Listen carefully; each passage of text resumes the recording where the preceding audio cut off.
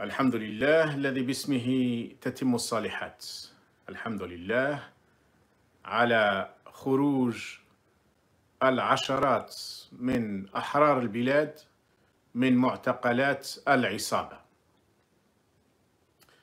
الحمد لله الذي وفق الشعب الجزائري احرار الشعب الجزائري حراك الشعب الجزائري ثوره الشعب الجزائري انتفاضه الشعب الجزائري أن ضغطت على العصابة لكي يخرج بعض إخواننا. خرج الجزء اليسير في الحقيقة ما زال هناك ربما لو كان نجمعهم كلهم المئات. أقل شيء خلينا نقول ما زال هناك 400 500 600 لا أحد يعرف. بعض التقديرات تضعهم في حدود الألف. لأنها كانت اعتقالات تعسفية بدون آه، قانون. كان الاعتقالات كانت اعتقالات تليفون. دولة الحنوشة أمرت فنفذت الواجهة المدنية. هل هي خطوة في الاتجاه الصحيح؟ لا شك في ذلك. هل هي خطوة؟ يجب أن تتبع خطوات؟ في الحقيقة هذه خطوة من ألف خطوة.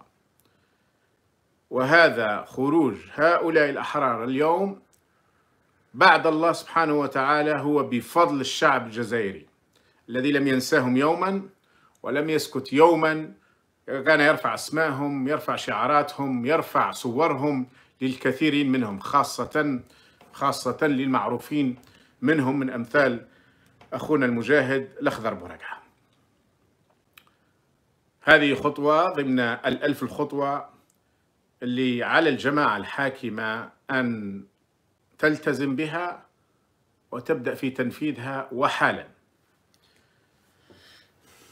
اليوم كان المفروض أني أنهي الهدنة التي كنت قد أعلنت عليها من طرف واحد الالتزام اللي كنت أعلنت عليه من طرف واحد بعد أن تم تعيين تبون رئيسا للجمهورية وهو تعيين ولذلك سميه رئيس الجمهورية لأنه ليس منتخب. ونحن لا نعترف به أنه منتخب ولن نعترف به أبدا على أنه منتخب لأن الانتخابات كانت مزورة هو يعرفها والذين معه يعرفونها جيدا. لكن بعد تعيينه وبعد تعيين شنقريحة خلف لقيد صالح قلت شخصيا سألتزم من ناحيتي ببضعة أيام ربما أسبوع إلى عشرة أيام قبل أن نواجههم بقوة. وكان المفروض أن هذه العشرة أيام تقريبا انتهت اليوم أو تنتهي اليوم. لكن إقدامهم على هذه الخطوة وهي خطوة آه، إطلاق سراح لحد الآن حوالي معلومات التي لدي هم في حدود 76 من الأفاضل من الأحرار يخليني صراحة أمدد هذه المهلة. حتى نعطيهم فرصة أكبر للقيام بخطوات يجب أن يقوموا بها وملزمين أن يقوموا بها حتى وفق الدستور الذي أقسم عليه آه تبون. لكنها في الحقيقة لم يطلقوا إلا الجزء اليسير. 51 من العاصمة من سكان العاصمة ستة من سكان شلف اثنين من تلمسان اثنين من طارف أربعة من واتسوف اثنين من وهران ثلاثة من قسنطينة اثنين من تيبازا واحد من بومرداس وواحد من تسمسيلت هذه المعلومات التي لدي تقريبا حتى قبل حوالي نصف ساعة من الآن. على رأس هؤلاء كان أخونا الكبير المجاهد الأخضر بركة اللي فاجأني وأنا أتابع بكل سرور خروج الأحرار من معتقل العصابة هو أنه نفس القنوات اللي كانت شنت هجوم عنيف وعنيف جدا على الأخضر بورقعة إلى غاية. أن بعضهم قالوا أنه حركي وأنه لم يقم أبدا لا بالجهاد ولا بالثورة ولا هم يحزنون. نفس القنوات. نفس القنوات كانت تضع في شرائطها وفي أخبارها إطلاق سراح المجاهد. الأخضر بركة. إذا يثبت شيء هذا هو أننا أمام بلطجية. بلطجية لديهم قنوات إعلام بلطجية لديهم مواقع على الإنترنت بلطجية لديهم آه، أمن ولديهم شارع بلطجية. حينما اعتقل في جوان شنوا عليه هجوم عنيف. الأخضر بورقعة أكمل كان اعتقاله في نهاية جوان. إحنا الآن في بداية يناير معناها أكمل أكثر من ستة أشهر. وصلوا إلى درجة أنه نزعوا عليه تاريخه. باش تعرفوا كيفاش هذا هذه المجموعات وهذه الجماعات اللي متحكمة في البلاد ليس لها أدنى حد من الخلق. لا في الخصومة ولا في في الصداقة ولا ما عندهمش خلق. كان بالإمكان اعتقال لما اعتقل الأخضر برقعة كان كان يكفيهم أن يقولوا أنه كما قالوا مس بمعنويات الجيش. جيش تاع قفريط اللي يطلق تصريح يمس بمعنوياته. ما فيش أحد أهان الجيش. ويمس بمعنوياته ولا يزال مثل قادة الجيش. أكثرهم أو كبارهم باش نكونوا دقيقين. إذا الأخضر برقع اليوم يسمى المجاهد في قنوات أصحاب الشكارة. البارح كنت أقول لكم سترون العجب. اليوم هذا جزء من العجب. ما زال جاي العجب الأكبر. ما زال جاي شيء شيء عجيب راهو جاي في الطريق. إلى درجة أنهم سيقومون بسجن الذباب الكبير بما فيهم السفيهات السفهاء والسفيهات الكبيرات. سيقومون باعتقالهم أو سجنهم أو طلب منهم أن يغادروا البلاد لأنهم سيعتقلونهم. لأنهم الخطة التي يرسمونها يعتقدون أنهم يستطيعون يخادعوا بها الشعب الجزائري. غدا ستكون الجمعة 46 واحدة من أكبر الجمعات على الإطلاق.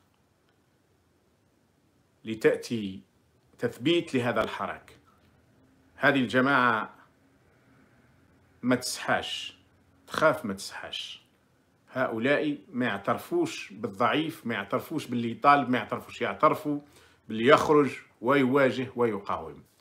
ويطالب بأن الشعب الجزائري حر ومصمم على أن يبقى حرا. هذه هي أول جملة في الدستور. إذا هذا هذا اليوم إذ نرحب بهذه الخطوة لكن أولا نعتبرها أن أصلا هؤلاء ما كان لازم أن يعتقلوا. اعتقلوا اعتقال تعسفي.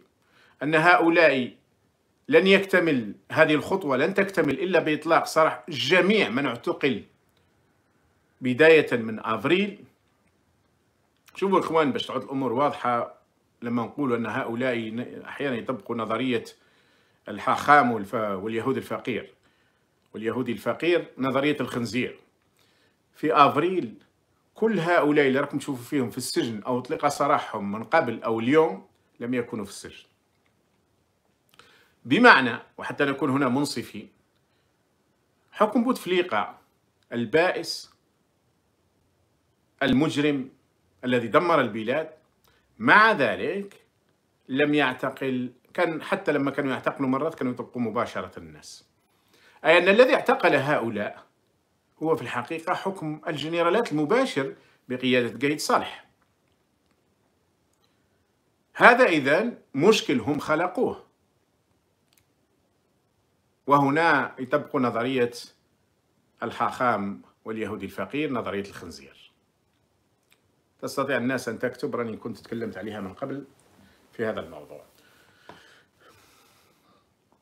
وهو خلق المشكلة ثم الادعاء بأنهم يقومون بحلها. ويطلقوا ذبابهم سواء في القنوات أو في الجرائد أو في المواقع على أساس ها عم طلقوا الآخر. وكأن الناس لما خرجت في فبراير كانت خرجت من أجل إطلاق سراح المعتقلين تعسفا وبطريقة غير قانونية وبطريقة عنيفة في كثير من الحالات. إذا لا تمنوا علينا فإطلاق هؤلاء طبيعي جدا. إطلاق هؤلاء عادي جدا. إطلاق هؤلاء يجب أن يتبعوا إطلاق الآخرين كل الآخرين بلا استثناء. ويجب أيضا أن هؤلاء يتلقوا واحد الاعتذار على سجنهم واعتقالهم لأنه كان اعتقالا تعسفيا خاطئا وهم يعترفون بذلك بطريقة غير مباشرة اليوم. اثنين تعويضهم على سجن الاعتقال. ثالثا إلغاء كل ما نتج على هذا السجن خاصة بالنسبة للناس التي الذين صدرت في حقهم أحكام. والواقع أننا لا نطالب فقط ب يجب إطلاق كل من اعتقل ولكن أيضا الذين يخضعون للرقابة القضائية ما يسمونه بالرقابة القضائية وهم بالعشرات. من بين هؤلاء أخونا الدكتور أحمد بن محمد اللي وضع في شبه إقامة جبرية. ويمنع من خروج بيته أو حي يوم الثلاثاء والجمعة والمشاركة في أي شيء. هذا على سبيل المثال وهناك غير كثيرين وهناك أيضا الذي يمنع في الحقيقة منذ سنوات ورغم تبدل وجوه العصابة المدنية والعسكرية إلا أنهم ما زالوا يطبقوا عليه نفس الأسلوب وهو علي بالحاج الذي يمنع من الصلاة. أرأيت الذي ينهى عبدا إذا صلى يمنع علي بالحاج من الصلاة الجمعة ويمنع من المساجد ويمنع من الجنازات وفي كثير من الأحيان منع حتى من الأعراس أو من آه، لقاء ناس أو أصدقاء. وليس فقط علي بن الحاج وأحمد بن محمد وإنما الكثيرين. كثيرين راهم تحت الرقابة التي لا تقول اسمها تحت الرقابة القضائية أحيانا وأحيانا حتى ما يسموهاش وأحيانا إقامات جبرية بدون معنى.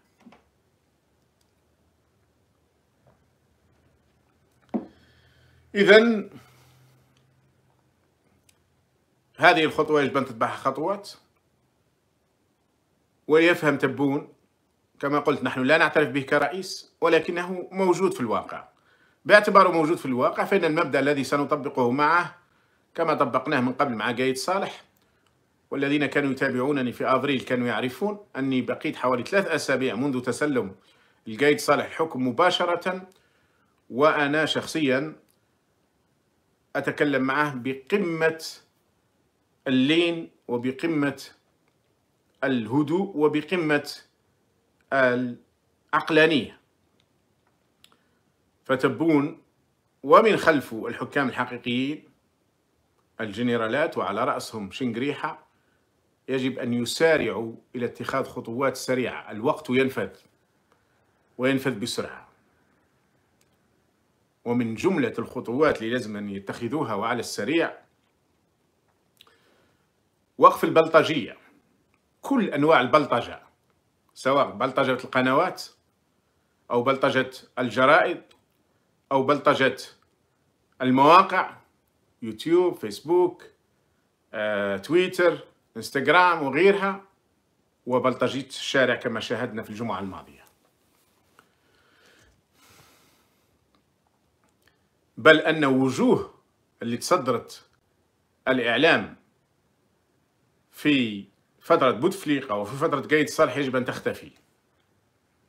إذا أرادوا أن يكون هناك شعور إذا أرادوا أن يضعوا نوع من الثقة بينهم وبين الشعب ليس باعتبارهم حكام شرعيين وإنما باعتبارهم حكام فعليين. أمر واقع ليس أكثر. أنا شخصيا وحركة رشاد لن تعترف أبدا بأي حاكم لا يأتي بانتخابات حرة وعادلة وصادقة ونزيهة فعلا. وأعتقد أن هذا رأي الأغلبية العظمى من الشعب الجزائري الحاكم الذي لا يأتي بإرادة شعبه لن يخدم شعبه. سينظر لمن أتى به لكي يخدمه. قبل أكثر من عشرين سنة كنت أقول قل لي من يأتي بك إلى الحكم أقول لك من تكون وفي صالح من ستعمل.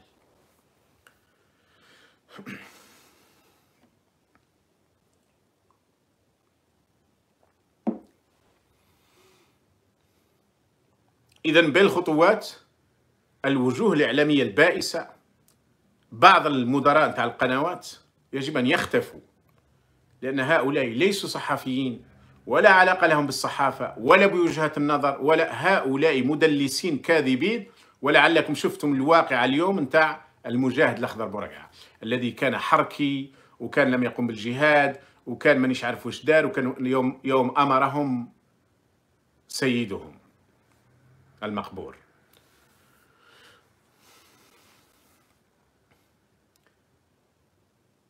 آه في موضوع البلطجة على الإنترنت أنا أقول لهؤلاء اللي راهم يحكموا الآن.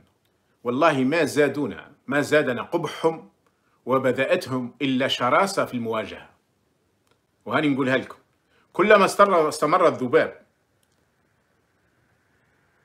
وهو يلقي بقبحه وببذاءته وبالكلام الفاحش كلما زادنا تصميما وشراسة على مواجهة أسياد الذباب.